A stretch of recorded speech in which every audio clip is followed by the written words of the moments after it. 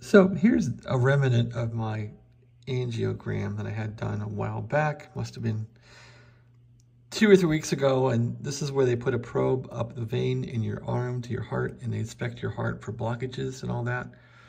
So they put this interesting bandage onto your arm when they're done. And this is an air bandage. So I saved it just because I was going to make a video on the angiogram and the procedure. So when they're done, I guess in the operating room or in the exam room, they will put this bandage on you and they put air into it.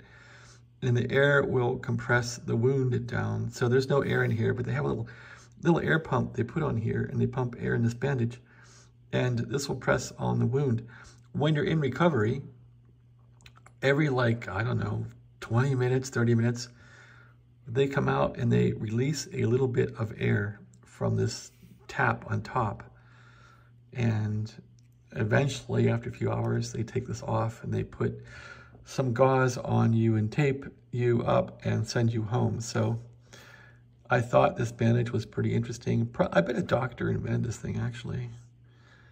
And uh, it's pretty wild. It's probably made just for angiograms because it fits your hand. It goes right over that vein. You can see the, the vein right there going down the arm. So anyway, that's that. Um, to get this thing off, I can show you maybe if I can get it off of here with one hand. I probably can't, but you can loosen this, this tab right here. Let's see if I can do that with, uh, let's see if I can do that on cam here with one hand. I can't, or can I? Let's try it. Loosen this band up and there it is. Comes off like that. And then you can loosen this one up. And the whole thing comes off. My left hand is still numb from the stroke I had. So it's hard to do things. Okay, there we go. Come on. There. So that will get off that, um, whoops, upside down here that will get off that bandage and to inspect the bottom of this bandage. So look at that. So it has like a little air capsule here that fills up with air and that will push against the wound. Interesting. Hmm. So that's how that works. They put this right over the uh, wound. So you can still see where they went in. There's a little scar there left over.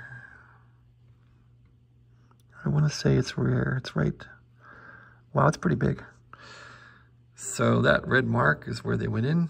There's a scar there. So that was a pretty big, pretty big hole there to go in to that vein for the uh, angiogram. And that's where the uh, bandage was. Or did the bandage make that scar, make that indention? I don't know. Anyway, thanks for watching. Yeah, this bandage is probably invented by a doctor and it's probably made simply for angiogram slash catheterization exploration. So I saved it just because I thought it was uh, pretty interesting. Not sure what that little round washer thing is in there. Thanks for watching. Have a great day.